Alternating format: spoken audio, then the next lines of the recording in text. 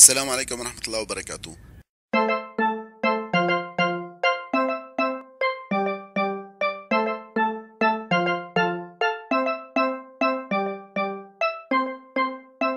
طيب طريقة فك الضوء الخلفي للسيارة أو الغماز أو الستوب اللي بتسموه. طبعا ما تسألني شو بتشتغل أنت على قناتك أنا بشتغل كل شيء على قناتي.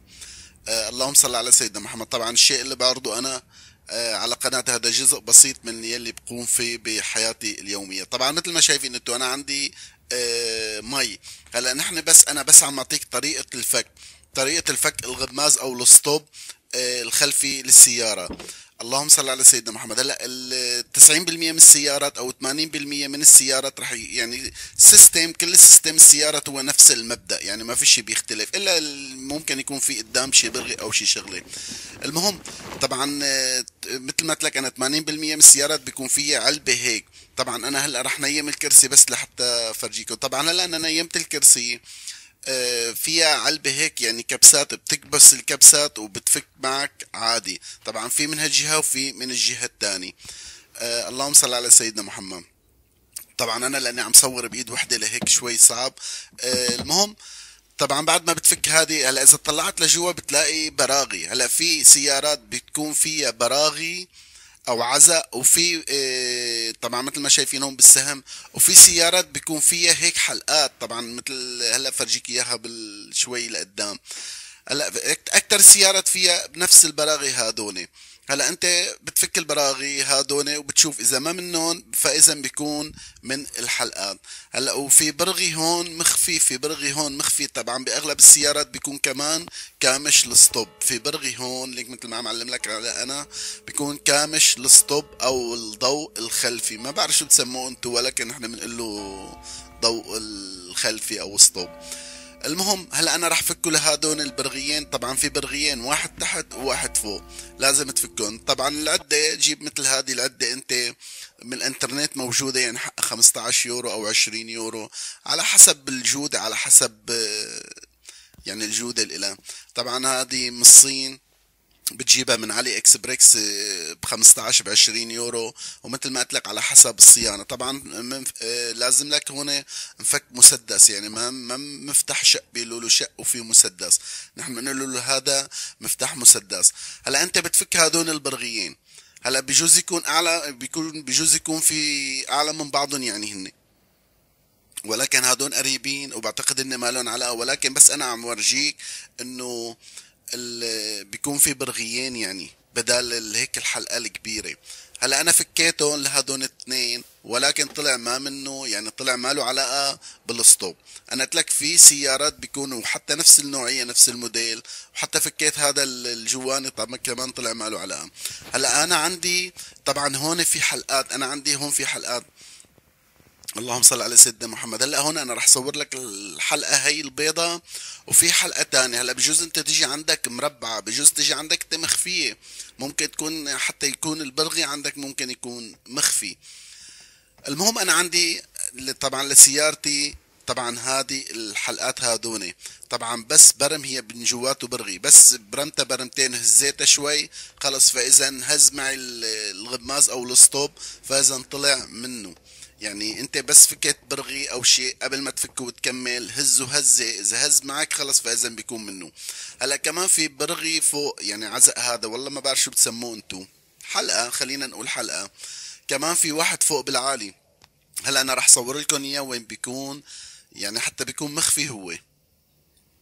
بس عم حاول طبعا أنت لما بدك تفك ال stop على الأخير حاول رد علق شوي صغيرة هي الحلقة اللي حكينا عليها اسمها حلقة حتى لا يوقع منك ال stop أو ينقطعوا الشرايط أو شيء المهم مثل ما شايفين عم يهز معي فإذا آه، هذه طريقة الفك يعني طريقة فكه بسيطة كتير بس ولكن بيكون في فرق بين البرغي وبين الحلق هذا. طبعا علقوه أنت هيك علقوه تعليقة صغيرة حتى لا ينخلع معك وقت بدك تفكه. ولكن أنا بعرف شو بدي أسوي لهيك فكيته على الأخير. طبعا ليكو هذا الجواني أنا جبت ضوء وحطيت طبعا هذا الجواني بيكون كمان مخفي من فوق. يعني في بعض الناس ممكن تفك تحت وتجي خلع بالتحت يعني بالقوة بدهم يفكوه. ما راح يفك معه ممكن يخرب شو اسمه.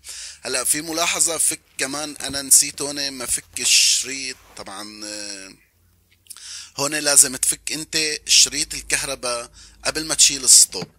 لازم تفك شريط الكهرباء قبل ما تشيل stop طبعا إذا ما مبين عليك شريط شو اسمه الكهرباء تاع ال stop فينك تفكه بعد ما يعني بعد ما بتشيل شوي شوي الغماز فينك تفكه. كمثال أنا راح أعمل كمثال هلا. هلا خليني أفك الستوب. طبعا بس فكيت هدول البرغيين بيطلع معك بكل أريحية يعني ما بدها خبره هلا في حلقتين لسه عالق بحلقتين هو يعني هيك كبسة كبسة بيقولوا لك لبسة أو كبسة والله ما بعرف شو بتسموها. طبعا أنا كل دولة بتحكي شكل آه يعني عالق بكبستين ما عم أقدر فك لأنه أنا بصور بإيد وعم فك بإيد. لازم تمسك بالإيدتين وتشيل يعني بشكل ساوي حتى يطلعوا معك حتى يطلع الغماز معك. طبعا وبرجع بقول لا تنسى طبعا هذه الحلقة اللي عم لك عليها ولسه في حلقة تحت. طبعا كل السيارات فيهم نفس السيستم. آه، ولا تنسي شريط الكهرباء. لا تنسي شريط الكهرباء. إذا ما فك معك من جوا شريط الكهرباء وسع شوي على الغماز وفكه هيك مثل ما أنا عم فكه. طبعا سهل بس كبسة صغيرة بالإيد وبيطلع معك. هلأ أنا رح أحط الموبايل رح أحط الموبايل من إيدي رح وقف تصوير حط الموبايل من إيدي وراح فك لأني ما عم يفك معي. اللهم صل على سيدنا محمد. وتأكد إذا في شريط كهرباء لا تنسي. لأني ما عم يفك معي أنا راح أحط الموبايل من إيدي وفك الغماز. طبعا وتأكد برجع وبقول لك وتأكد مشان ما تقطع شرايط أو تقطع شيء بالغماز أو تفقد يعني فريم الإيد أو الغماز يمين. يعني تفقد الغماز تاع لما تضغط فريم. طبعا هي الكليبسة الثاني أو الحلقة الثاني. وهيدي الفوقانية وحدة حديد ووحدة بلاستيك. طبعا أنا حطيت الموبايل من إيدي وفكيته. طبعا هي طريقته سهلة كتير بسيطة وسهلة كتير. هلأ أنا راح روح فضي المي وأرجع ركب مرة تاني الغماز. طبعا أنت إذا عندك آه، الكهارب أو اللمبة محروقة أو شي يعني فكتة كتير بسيطة. يعني ما بدي أخبرك كل السيارات هيك كل السيارات نفس السيستم.